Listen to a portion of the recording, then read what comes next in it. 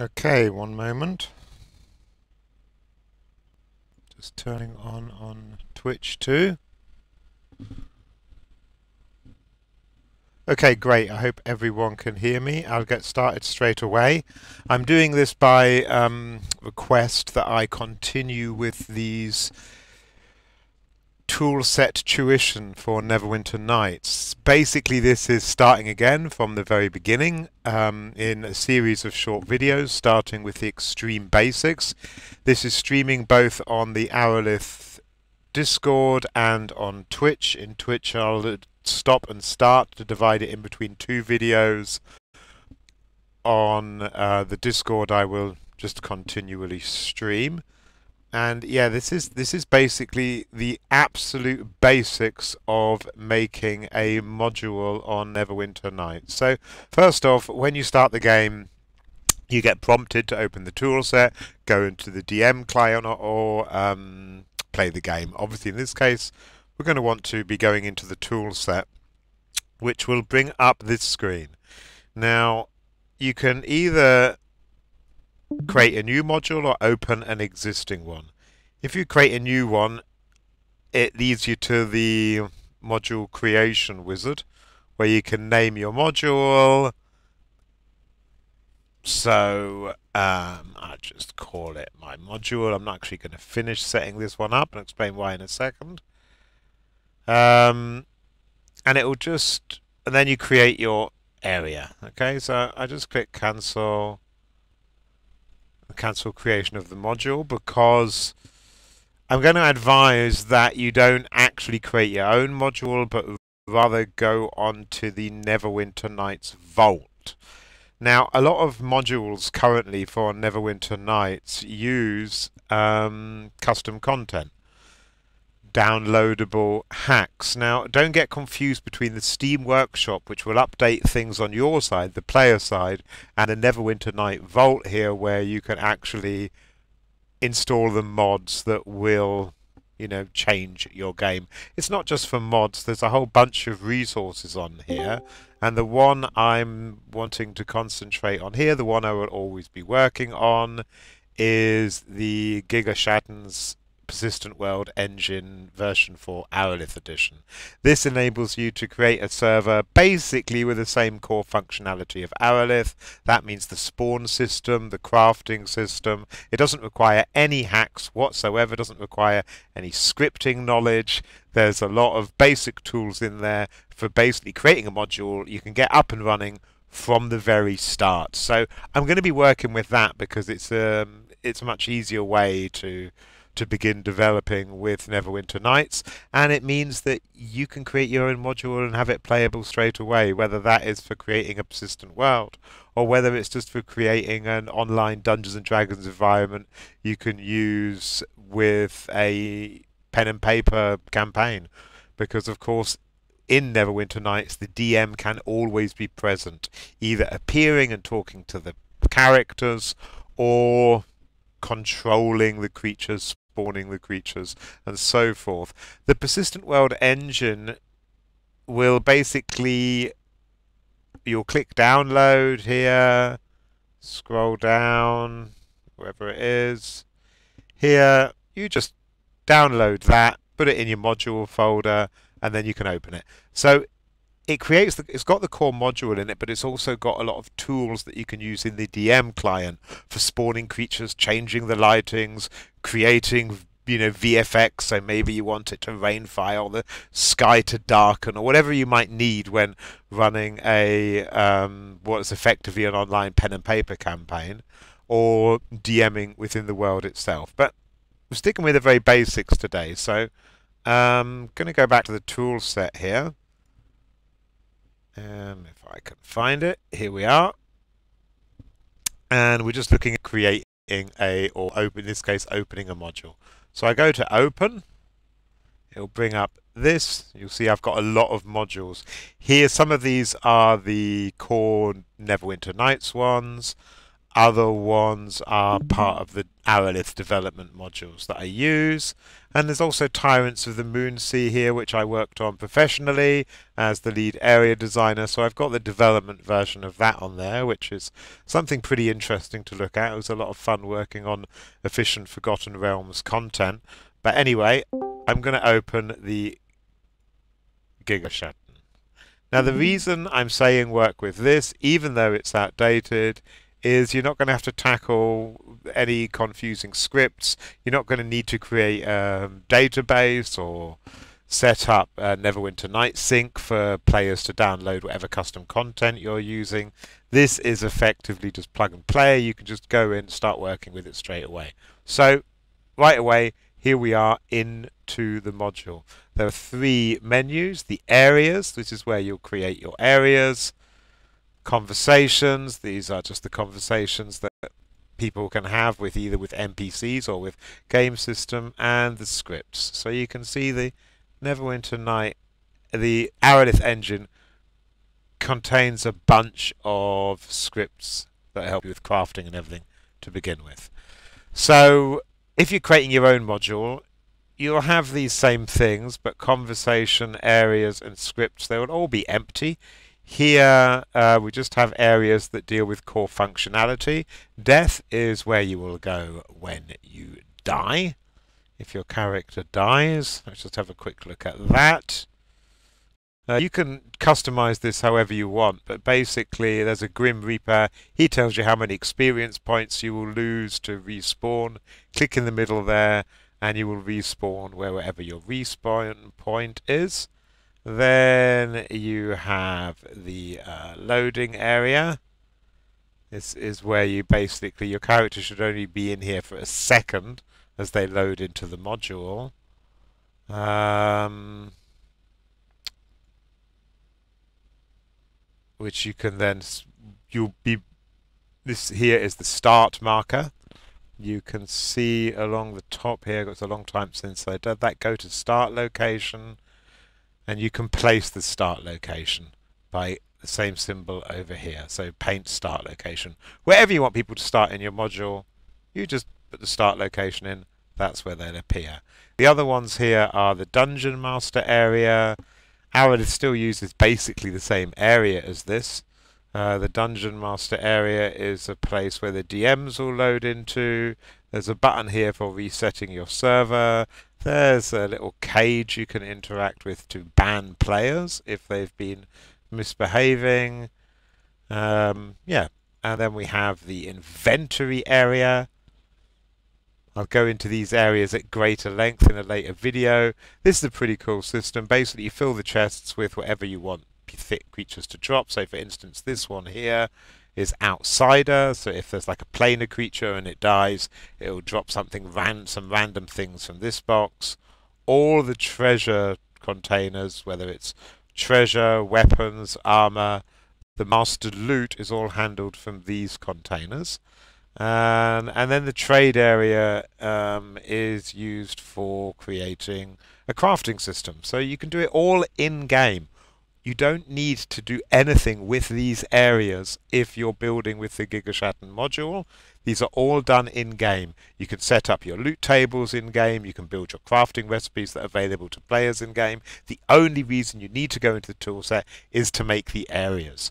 But anyway, whether you are using the Arelith module or you're creating your own module, one of the first places you're going to want to go is to module properties. Now this can be seen here in ed. Do that a bit slower. Apologies for rushing. Um, area properties, which will be this specific area, in which case trade. Module properties covers the whole um, module. So let's have a look what we've got here. This is the name of the module. I can change this to whatever I want my world to be called. The tag really doesn't matter. Starting area just tells you where the start location is. Now, events is a lot more complicated, and this is why I'm using the Gigaschatten engine, because we would be just spending an excessive amount of time discussing scripts. Here it's all done. Let's have a quick look down the list. On acquire item, on activate item, on client enter, that's when the player enters, on client leave, when the player leaves, on heartbeat, on module load, on player death, on player dying, on player equip item, on player level up, on respawn, on rest. A couple of blank ones there, on equip item, on acquire item. You can just edit these according to however you want to customize your module. You don't have to edit them at all, um, but they're all in. So don't worry about that. If you're creating a new module, these will all be blank. So if you've got no scripting knowledge and you're wanting to work with the Aurora toolset to create a module, then you need to expect to do everything as a DM via the set tools within the game. Now that's really good as a pen and paper resource. It's not going to work for a persistent world or creating anything playable. Um, without you're going to need basically unless you're using an engine like the Arelith engine you're going to need a lot of scripting knowledge uh, advanced. So this is self-explanatory. Um, minutes in an hour, six minutes. Um, that's six minutes real time to uh, an hour in game time. We have this wildly different on Arelith now. We have it running at basically a third of real time. And then you can see what time dawn start, what time dusk starts, what the starting month, starting day, starting year is description of the module. This will appear to anyone that sees your module in the online list. At least I think so. I've never actually filled that in. And then custom content. Now, this is pretty key. Um, you're probably going to want to use hacks eventually because they really can improve the game a great deal. Now, what you can do is just say to your players, you know, go to the workshop, use what overrides you like. I'm not going to build with any but understand then that players will see things differently depending upon what overrides they are using. Now, if you are going to be using hacks, which you're probably going to want to, you're either going to have to set up what is called Neverwinter Night Sync. This is an automatic downloader that will download all of the hacks required by players as they join your game, or they're going to basically need to know in advance what they are and make sure they put them in their hack folder. The Neverwinter Nights folder, it's in different place on different people's desktop. There you will see the hack folder, all the hacks will be inside. I'm not going to navigate all of my... Actually, you know what? I think I can. I will find the folder. Just a bit careful with uh, privacy because I'm having to... Um, stream an entire screen because Discord doesn't like Neverwinter Nights. It tends to crash. Um, so let me just close that. Let's move this over. Okay. Here's my Neverwinter Nights folder. Here is the hack folder. So this is where your hacks will go. In my case, it's Documents Neverwinter Nights hack. Okay. Um, drop down menu, find the hack you want to use. Now, I'm clicking on BioCity Interior here and adding it. A complex module will have a whole bunch of hacks. The more you work with, expect bugs. There will be problems not a lot of hacks might crash the tool set. They might cause problems for players. Honestly, if you're a beginner, I would only recommend very few, and I've prepared them for you here. So let's go back to the Neverwinter Nights Vault.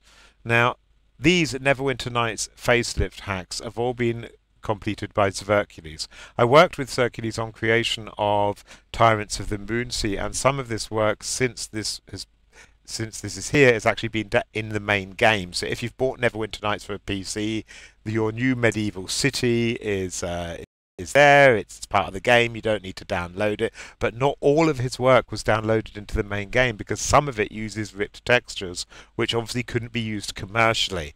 Now, there's a list here of what he's got here. The interior tile set, which is the one I've just been adding there, BioCity it makes the city interior much much better and I advise anyone uses it cave tile set is also really good um, probably worth putting in there is a problem with the mini map so I'm not going to be using that in any of the tuition forest tile set you don't need it's in the main game rural tile set Uh, I don't believe is in the main game, so you can add that one if you want to.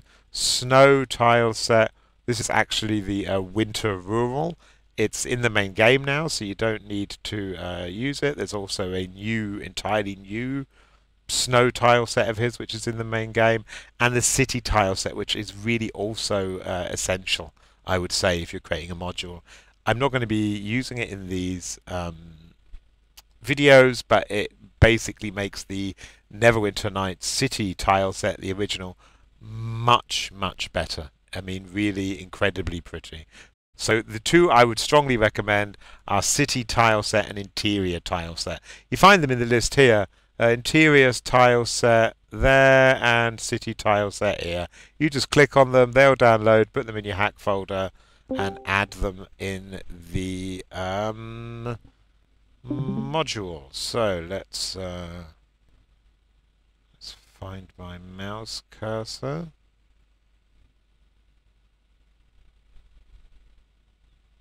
Go back to the tile tool tile set. So once I've added this and I click OK, it will just rebuild the module. It gives you a little warning saying you're about to change the hack uh, files used. It might crash, blah blah blah, and then it will just quickly reload, close the areas, reload everything, make sure everything is in for it, it's in there that's needed, and then just rebuild the module. This won't take very long because there are not many scripts in the core Arelith module. If you're working with a really big module, changing the hacks could could take a long time. Um, so basically, that's it. That's that's how to create your module. We're going to go through all the different menus one by one through the course of these videos, uh, starting off with tile sets, um, which is which I'm going to do in a few minutes. On Twitch, I will be stopping and restarting. Uh, in the meantime, I'm just going to answer any questions, read any comments that have come in.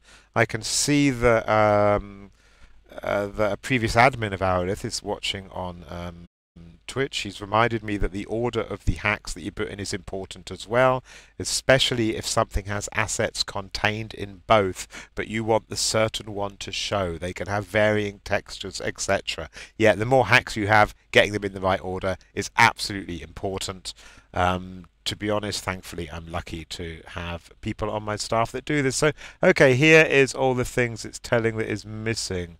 So these creatures are missing resources. That means there are items in the custom palette of the creatures that don't exist. Um, voice exe, a script, two scripts here I haven't compiled. In fact, quite a few haven't compiled. That's obviously concerning. I'm guessing it's because the Neverwinter Nights. Um, I'm guessing it's because the engine here is out of date, but um, not familiar with what these scripts are, but there's a lot of compile error on the scripts.